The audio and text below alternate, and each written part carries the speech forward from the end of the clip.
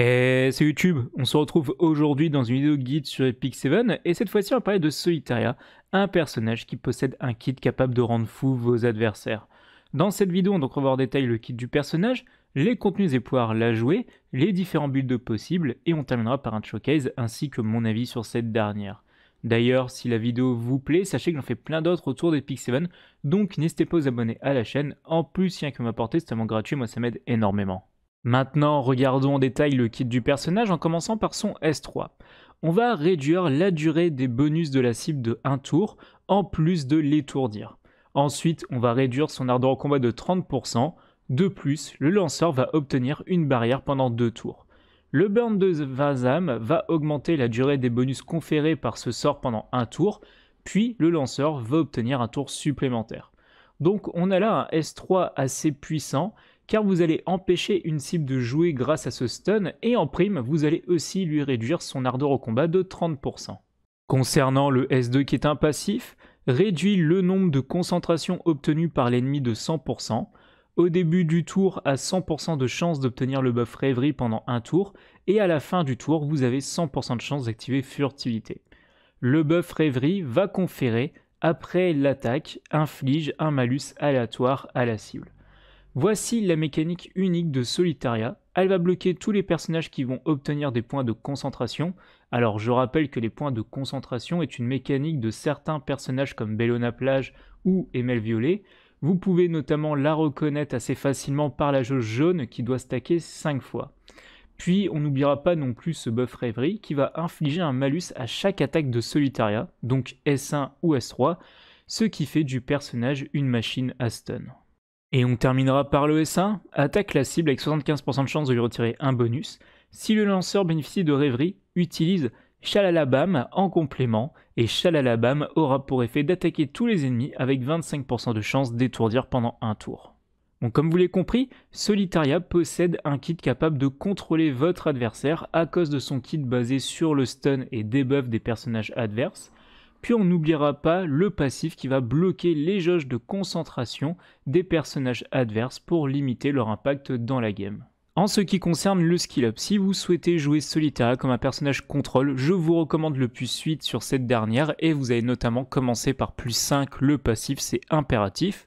Puis après, vous donnerez 3 points sur le S3 pour obtenir les moins 1 tour de recharge. Et si vous souhaitez jouer Solitaria comme un DPS, là il vous faudra la plus 15. Concernant les contenus P, vous allez pouvoir jouer Solitaria. Alors, on va être clair, le personnage a aucune utilité, pour ne pas dire inutile, en PvE. Puis, en ce qui concerne le PvP, Solitaria est surtout utilisé en RTA pour venir contrôler votre adversaire ou bloquer les personnages comme Archidémon, ML Violet ou Bellona Plage. En ce qui concerne la GVG ou l'arène, actuellement Solitaria ne vous sera d'aucune utilité dans ces deux modes de jeu au vu de la méta. Pour ce qui est des artefacts, je vous recommande de lui mettre la couronne de l'abîme, car quand vous allez utiliser le S1 qui va notamment taper en AE, vous aurez 24% de chance supplémentaire pour stun votre adversaire. Ensuite, si vous souhaitez jouer votre Solitaria en DPS, vous pouvez lui mettre le compte cauchemardesque qui va apporter des dégâts supplémentaires en plus de retirer un bonus adverse. Et pour le côté un peu plus free-to-play, vous pouvez lui mettre le violon d'Elia qui vous permettra du coup de retirer un bonus supplémentaire après avoir attaqué. Maintenant, regardons les différents builds possibles pour le personnage, et malheureusement, il n'y aura pas de build early game car Solitaria est vraiment un personnage HL exclusivement réservé pour la RTA. Donc, le premier build que je peux proposer, il s'agit d'un build de résistance d'effet. Le but est de mettre un set speed ER sur le personnage, comme ça elle va jouer rapidement et en plus de ça vous allez résister au debuff. Donc là comme vous pouvez le voir j'ai 1400 de défense, pratiquement 1500 donc c'est un petit peu léger. Ensuite j'ai pratiquement 16 HP donc j'ai quand même une certaine tankiness. 265 de vitesse et on voit que j'ai 170% de résistance d'effet. Au niveau du collier, je suis parti sur un collier bien entendu santé pourcentage. Ensuite, l'anneau résistance d'effet et des bottes en vitesse. Au niveau des substats, vous allez chercher du coup de la vitesse, de la santé pourcentage, de la défense pourcentage et de la résistance d'effet. Maintenant, regardons une autre version de Solitaria et cette fois-ci on va parler de la version DPS. Donc comme vous l'avez compris, le but est de faire en sorte que Solitaria fasse de bons dégâts. Donc pour ça, vous allez lui mettre un set Speed Pen et au niveau du collier. Alors moi je vous recommande un collier chance de coup critique, mais vous pouvez très bien mettre un collier dégâts des coups critiques si vous avez les autres pièces à côté. Ensuite, un anneau attaque pourcentage et des bottes en vitesse. Au niveau des substats, bah là c'est très simple, il faudra chercher de la vitesse, des chances de coup critique, des dégâts des coups critiques et de l'attaque pourcentage. Donc comme vous pouvez le voir, actuellement ma solitaire a quand même 2987 d'attaque, ensuite on a 270 de vitesse, 100% de chance de coup critique et 233 de dégâts des coups critiques. Donc on va tout de suite aller voir les dégâts qu'est capable d'effectuer ma Solitaria. Donc dans le calculateur de dégâts, on met Solitaria, on ne met pas d'artefact car on joue celui de FTN. Suite à ça, on met l'attaque du personnage, le dégât des coups critiques, on met le pen set. Alors, bien entendu, vu qu'on va jouer Solitaria en DPS, on va essayer d'amener un buffer attaque, donc je vais rajouter la cage buff attaque. Ensuite, bah, on va taper une cible avec 1000 de défense, on va pas y toucher, et là du coup on ne touche plus à rien. Et on voit quand même que le S3 de Solitaria fait pratiquement 12k dégâts, donc 12k dégâts, et je rappelle qu'on a l'artefact de FTN qui va rajouter des dégâts supplémentaires, et le S1 va mettre du 4600 points de dégâts, plus du coup le S2 qui va proquer derrière. Donc on peut dire qu'on est sur du 9000 ou pratiquement 10k dégâts. Et je rappelle que en plus de ça, on a aussi l'artefact de FTN qui va proc, donc on peut dire que le S1 de FTN va taper entre 10 et 11k dégâts, donc ce qui est plutôt pas mal, sachant que vous allez apporter du contrôle sur vos cibles, donc je rappelle le stun, en plus des debuffs que vous allez pouvoir poser. Maintenant à passer à mon build, et moi je joue une Solitaria Control. Donc le but bien entendu est de contrôler notre adversaire quand il ne prend pas de personnage capable de cleanse, en lui infligeant beaucoup de debuffs et notamment des stuns. Donc au niveau du set, je joue un set speed efficacité et en artefact, je joue l'Abyssal Clone, donc la couronne de l'abîme qui va apporter du stun supplémentaire. Au niveau de mes items main stat, alors je suis sur un collier santé pourcentage, un anneau en efficacité et des bottes en vitesse. Au niveau des substats, j'ai été privilégié du coup la santé pourcentage, la vitesse, la défense pourcentage et l'efficacité. Ce qui fait que ma solitaire a quand même 1536 de défense, donc c'est plutôt ok pour la survie.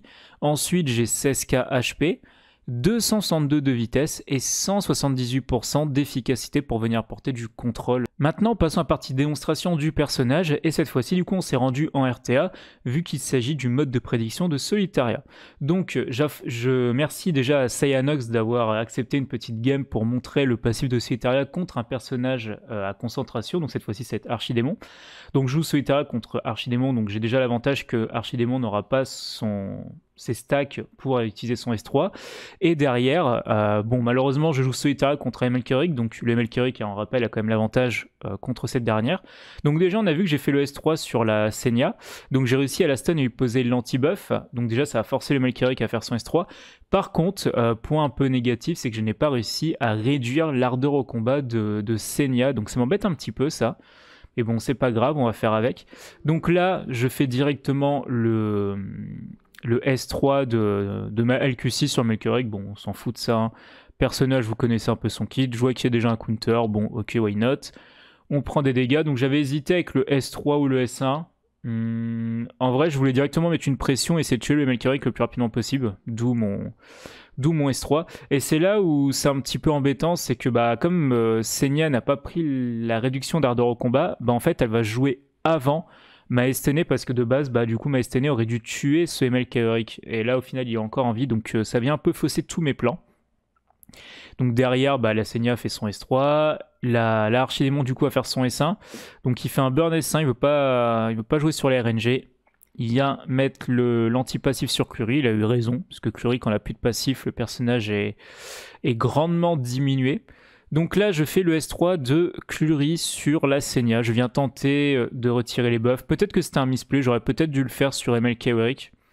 Parce que potentiellement, MLK Warwick était le personnage qui a le moins de, R. Bon, c'est pas passé. Euh, on est sur une Senia full ER. Donc là, avec Solitaria, on va venir taper le MLK Warwick. Donc, euh, bon, malheureusement, on a le blind, donc ça va être un petit peu embêtant. Donc on fait le S1. On voit qu'il y a déjà une résistance. Alors bon, à moins que le ML qui a 200% de résistance, je pense que je me suis fait RNG, mais bon.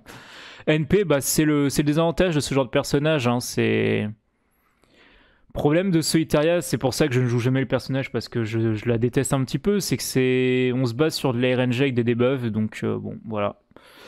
Il faut accepter le côté résistance euh, de notre adversaire. Donc euh, bon, bah rip. Donc là, elle fait son S3 de rase, et puis bah là, la game est finie. Hein. Je, ne pense pas remonter cette game.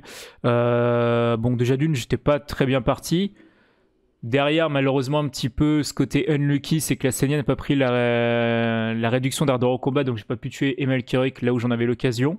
Et derrière, bah lui, même si jamais euh, Solitaria bloque la Meru, derrière, il vient quand même taper en AOE, donc il vient me retirer la furtivité, et Solitaria, du coup, ne peut plus rien faire. Donc voilà, bon, au moins vous avez vu la mécanique de Solitaria où la Ameru n'a pas eu ces points de concentration qui, ont, qui sont montés pour pouvoir faire mon S3. Et puis vous avez vu quand même que mine de rien, met un peu du contrôle. Et en plus de ça, quand la RNG est contre vous, bah, le personnage ne fait juste rien, c'est un foutu poteau. Donc mon avis sur Solitaria.